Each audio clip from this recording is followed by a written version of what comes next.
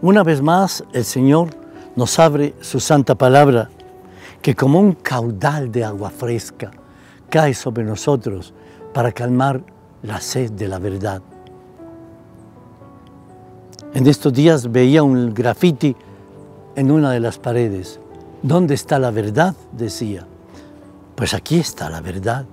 Es Jesucristo y por lo tanto es su palabra.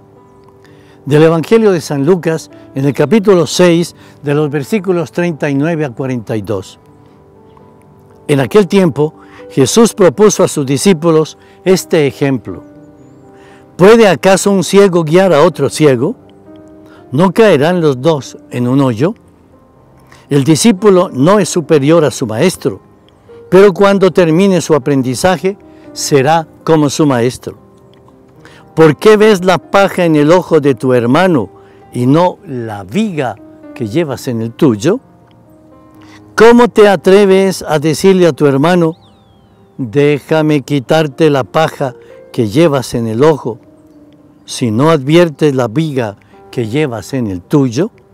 Hipócrita, saca primero la viga que llevas en tu ojo y entonces podrás ver para sacar la paja del ojo de tu hermano. Palabra del Señor, gloria a ti, Señor Jesús. Hoy debemos suplicar al Señor que erradique, que saque de nosotros toda impureza, todo mal, toda aspereza, es decir, aquello que nos impide tener un ojo limpio para poder mirar así a los demás con limpieza, con verdad, con amor, con un corazón pleno de justicia y de verdad. Que nosotros aprendamos que siempre debemos mirar nuestra vida y encontraremos tantas fallas, para que así no seamos tan incrementes, para que así no seamos tan furibundos, para que así no estemos siempre acusando al hermano.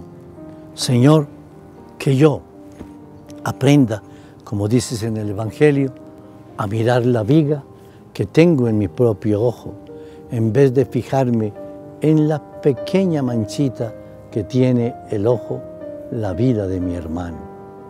Por lo tanto, Señor, dame un alto nivel de amor, de caridad.